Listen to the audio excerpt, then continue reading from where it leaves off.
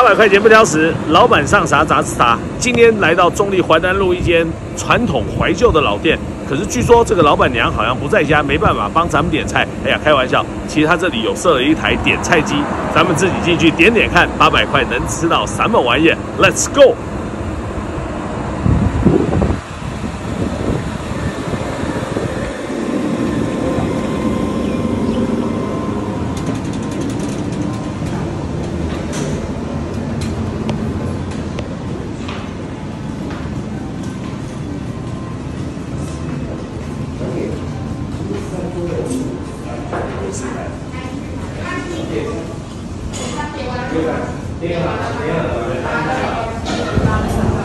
来看看怎么点菜的。哎，朋友说这个一定要吃，点一个。文昌鸡，对，继续点餐？是这样吗？应该吧。哦，对，两百九十八，还有鸭子，鸭子，鸭子也四分之一只，对？这样子加五百四十六。那还要点什么？老婆，你看要多少？就你点，你点，都可以。去八百一十八，结账啊，八百一十八，OK。没有。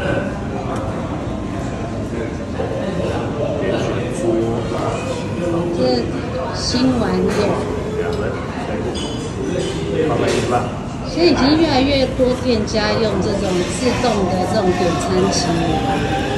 哎，第一个上来了，它这个应该上的就是我们点的刚刚那个实实在在一碗面，七十八块钱，看起来还真的蛮实在的。我们一起来看一下，半个溏心蛋，猪心好像有两块，其他就是芹菜。我们今天点的是那个米粉，可是你看哦，它的配的青菜好像不一样，这看起来像是韭黄哎，老婆是不是？韭黄，然后这边是韭菜。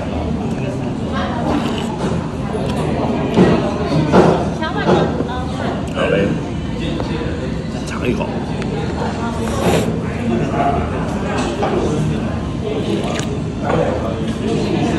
味道还不错，可是汤是温的，不够热吗？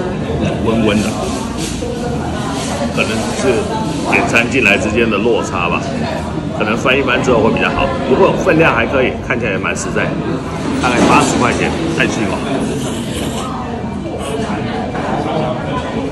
加了很多蒜泥，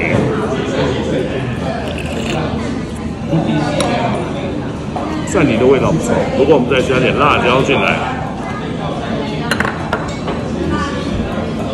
这种酱油辣椒传统的，我觉得不错。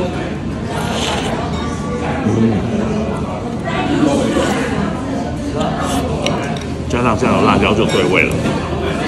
其实你说它的味道很传统吗？好像也不会，它跟我脑袋当中的传统味道不一样，但吃起来还算蛮实在，就是温度不够热，其他还蛮好吃。哎，再来上了一个小碗的卤肉饭，上面有很明显的红葱头、猪皮，嗯，看起来还不错，来尝一口。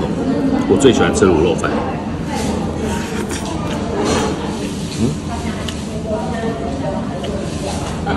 好脆。入口滑嫩，肥而不腻。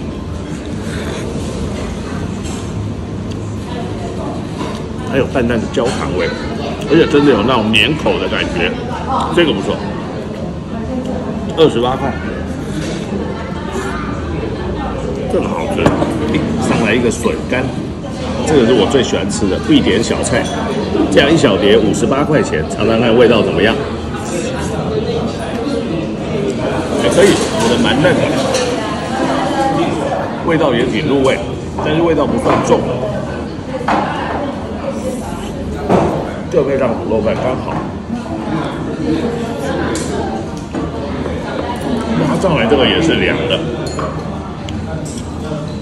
这个我点错了，我明明算不会超过八百的，结果我发现按那个、啊、按的还是不顺，不小心按到一个大的，加了五十块，所以这一盘猪心我们点的是大份，一百零八块，看起来分量还可以。猪心煮过之后其实是会缩水，缩的很小，加个酱油辣椒，这个煮的不错，很有咬劲，而且味道挺香，处理的很干净。大份的分量还是不小，你看这样的一个猪心一百零八块，如果自己回家煮，买一颗回家大概也是一百出头吧，要不要？不到七十块左右。这个大概三分之二颗，我觉得这个挺好吃，口感很好，而且煮的很烂，不会咬不动。这个有入味，味道比较清淡，配上卤肉饭，我觉得刚刚好。诶，大菜终于上来了，已经吃了个半饱，来了四分之一只的酥肥鸭，这个两百四十八块钱，四分之一只鸭，我觉得还可以，这么大一只鸭腿在这里，还附了个鸡酱，看起来不错啊。酥肥的，酥肥的，先沾个鸡酱试试看。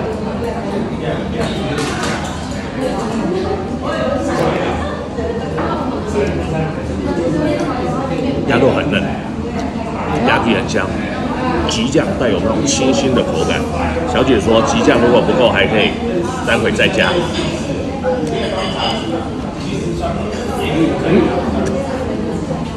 加上生姜啊，味道又有不同。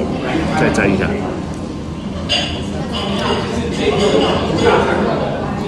嗯，这一只烤鸭多少钱？六百块左右。这个两百四十八，说实话，它也没有特别便宜，但吃起来还不错。有人说鸡酱可以加上一点点酱油，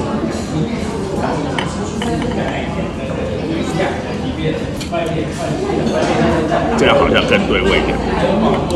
苏梅鸭四分之一只，两百四十八块。味道还不错，口感非常嫩。又来了一个，我看多少钱？两百九十八块的文昌鸡。我以前记得文昌鸡不是在海南岛吗？赶紧来尝尝看。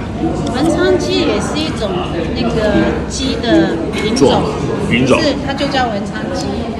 你看很黄哎，而且看起来很肥哎，看也沾个鸡酱。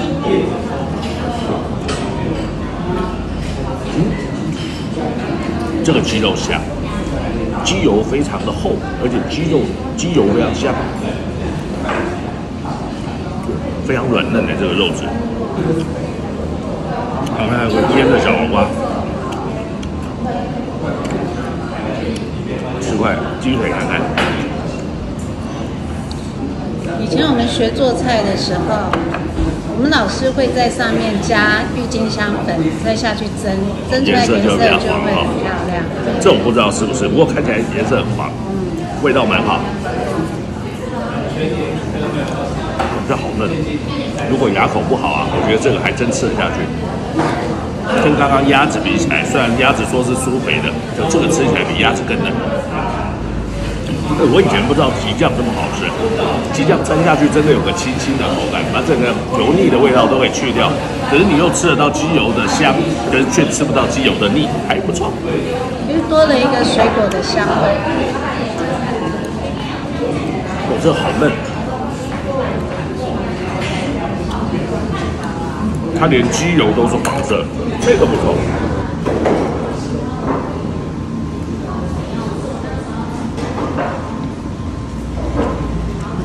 生啊，约会的时候，还没结婚前，不要吃什么鸡肉、鸭肉那种，像刚才这样的拉，整个形象都破灭，很尴尬。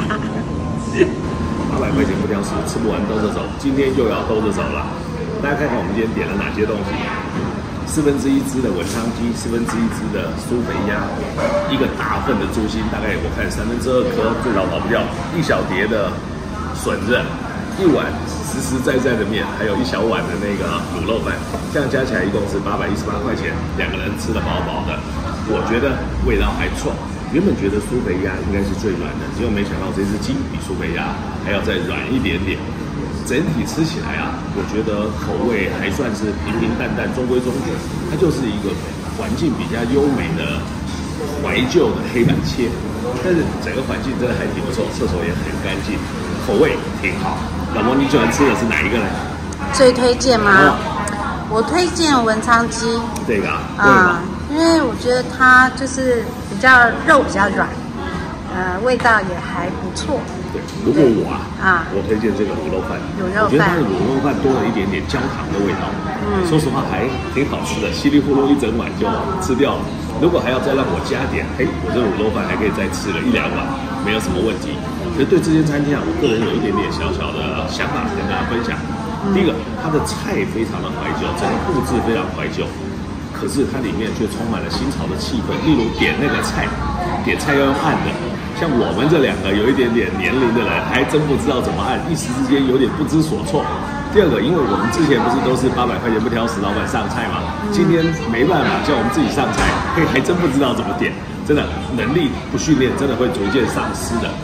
再来一个，我发现周遭吃饭的好朋友啊，人非常多，生意非常好，可是年轻人占了八九成以上，像我们这种资深的，很少 很少。我只看到一个年纪比我们大的，其他应该都比我们小很多。对，所以我觉得整个环境、服务啊、速度都很好，应该很适合年轻人来做个怀旧之旅。好嘞，张鑫漫谈今天就到这个地方，咱们下回见，拜拜。